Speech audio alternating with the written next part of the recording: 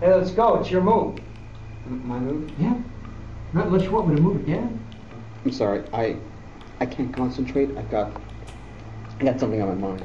Just another one of your ploys. Throw in a cockamamie story, throw me off my game. What if I told you that I had been reincarnated?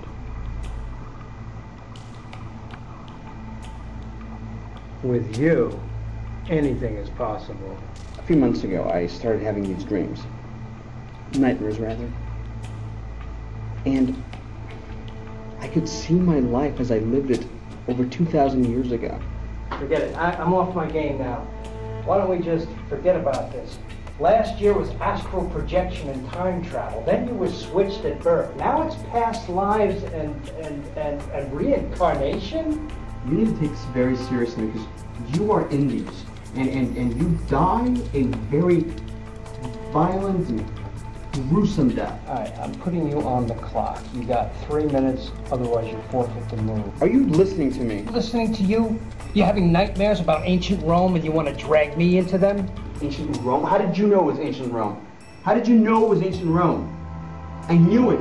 You, you've been in the nightmares, you've been there. No, no, no. You've been there. Listen, make yourself a hot toddy, put on some nice classical music, and go to bed, just like everybody else. You won't have any nightmares. You don't understand. Things got so bad, I had to go see a regressionist. Someone to put me under. Put you under what? You do know what a past life regressionist is, don't you? Yeah, I uh, named my cat Edgar Cayce, and you know how many past lives cats have. Anyway, in my dream, I'm in a Roman villa. I'm lost. I'm wandering from room to room. I see faces of frescoes on walls on the villa, faces of Greek mythology, but they're in some way familiar to me. Even though I've never seen them, somehow they seem familiar. I look at them, and I see they're looking at me, and I come upon a fresco of Perseus holding a dagger in one hand and the head of Medusa in the other and I tremble at the sight of this because suddenly the gods are speaking to me. The gods that spoke to Perseus speak to me. Bring me the head of the first mortal you see.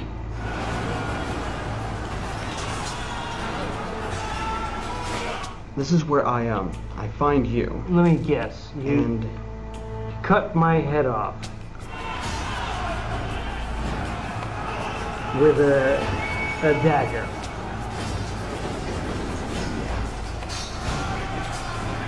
Can we get back to the game now?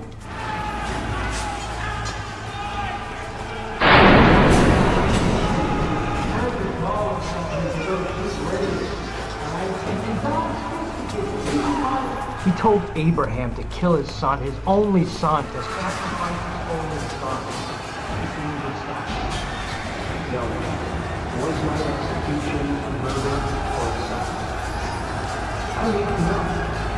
Because only a true Roman can be judged by the. I can listen. Cicero. Cicero. Let your desires be ruled by reason.